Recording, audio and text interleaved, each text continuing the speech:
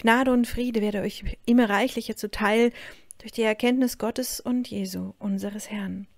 2. Petrus 1, Vers 2. Shalom und herzlich willkommen zur heutigen Andacht. Beachte, dass uns Gnade und Friede durch die Erkenntnis Gottes immer reichlicher zuteil werden. Aber zuerst kommt unser Glaube durch die Gerechtigkeit Gottes. Die Gerechtigkeit kommt zuerst, Erkenntnis kommt danach. Andersherum kann es nicht sein. Wenn du erkennst, wie gerecht Gott ist, dass er seinen Sohn zum Opfer machte, ja zur Sünde machte, zum Fluch machte, so dass wir frei sein können, wir, die in Sünde lebten, der Tausch, der Tausch einer reinen Seele gegen unsere Seelen, der volle Preis bezahlt, so viel Gerechtigkeit muss man erst mal ergreifen, so viel Liebe muss man erst mal verstehen. Es kann ein ganzes Leben dauern, zu verstehen, wie sehr Gott dich liebt. Doch du kannst es auch in einem Moment erfassen, wenn du verstehst, dass dies zur Heiligung deines Geistes, deiner Seele geführt hat. Wenn du diese Gerechtigkeit verstanden hast, dann kann die Erkenntnis kommen, dann kann es zu deiner Heiligung führen. Wenn du unabhängig von Heiligkeit eine Offenbarung von Gott erwartest, wirst du nur eine Mischung bekommen. Heiligkeit öffne die Tür zu allen Schätzen Gottes. Die Reinheit, die in dir und in deinem Leben hergestellt werden muss, bringt dir die Offenbarungen Gottes direkt in dein Leben, in dein Herz, in deine Seele. Aber er muss uns erst dahin bringen, wo wir, wie unser Herr, die Gerechtigkeit lieben und die Gesetzlosigkeit hassen. Bevor er uns Zugang gibt zu all diesen guten Schätzen, sorgt er dafür, dass wir verstehen, warum es wichtig ist, die Sünde zu hassen. Die Sünde, die Wurzel allen Übels, die Sünde, die Ursache von Tod, die Sünde, die Ursache vom Mangel und Leid, die Sünde, die Ursache, dass die ganze Welt gefallen ist. Nun, das ist es, was wir erkennen müssen, um zu verstehen, was Jesus für uns getan hat. Es ist so wichtig, dass du in deinem Herzen ergreifst, was dort geschehen ist und was Gott für dich bezahlt hat. Wenn wir Unrechtes vorhätten in unseren Herzen, so würde der Herr nicht hören. Psalm 66, Vers 18. Und nur dadurch, dass wir gerecht, rein und heilig gemacht werden, durch das kostbare Blut des Gottessohnes, können wir in dieses Leben der Heiligkeit und Gerechtigkeit im Sohn eingehen. Es ist die Gerechtigkeit unseres Herrn selbst, in uns wahrgemacht, sowie unser Glaube an ihn. Es ist so wichtig, dass du die Gerechtigkeit liebst und dich fernhältst von Ungerechtigkeit und Sünde. Nun, nachdem Jesus mich errettet hatte, nach meiner Bekehrung, nach meiner Geistestaufe, gab mir der Herr einige wunderbare Offenbarungen. Aber ich verstehe jetzt und heute, warum es so wichtig war, wiedergeboren zu sein, warum es so wichtig war, die, den Geist zu empfangen, warum es so wichtig ist und warum Jesus zu Nikodemus sagte, dass es eine Wiedergeburt braucht durch Wasser und Geist und dass wir nur so ins Himmelreich einkehren können. Schon vor meiner Geistestaufe, schon vor meiner Bekehrung hatte ich immer wieder Visionen.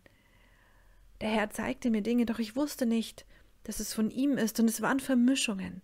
Immer wieder mischte der Teufel, der Widersacher, Unwahrheiten ein, die mich ablenkten, die mich immer wieder in die Sünde führten.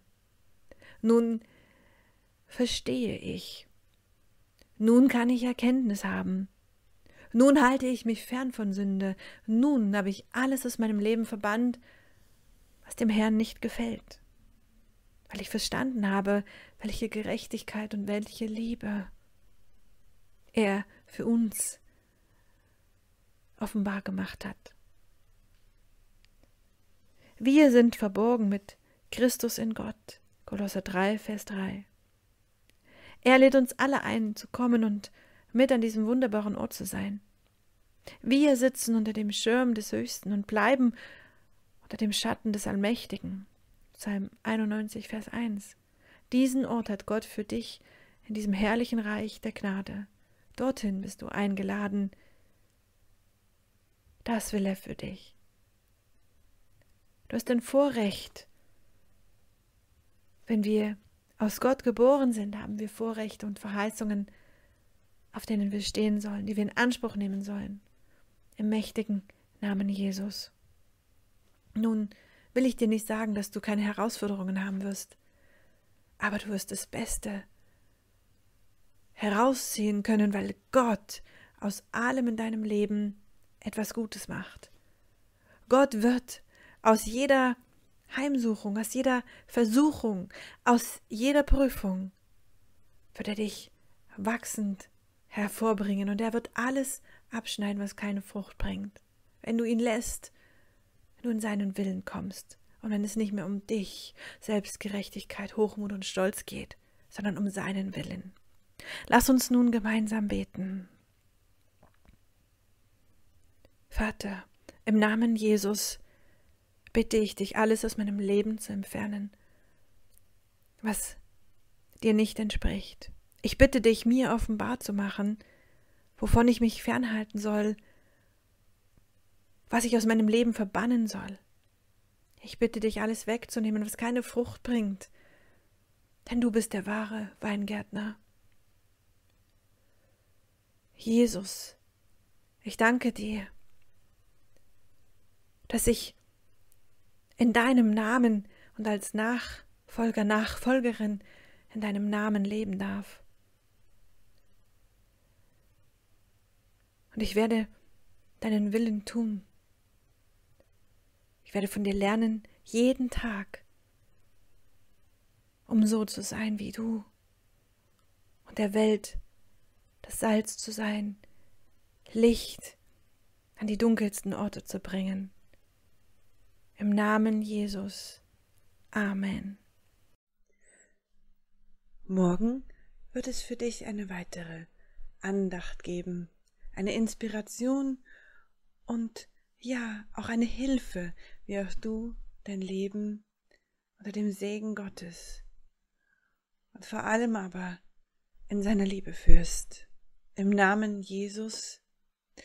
Und wenn du dich fragst, wie kann es für mich gehen, wie kann ich tiefer eintauchen in dieses Glück, in die Liebe, wie kann ich eine Beziehung zu Gott aufbauen, dann ja scheue dich nicht, schau in die Beschreibungen der Andachten, der Videos und sichere dir dein kostenfreies Seelenmentoring, ein Gespräch, bei dem erste Blockaden, erste Hindernisse und ja, erste Geister verschwinden müssen, die diese Welt auf dich gelegt hat.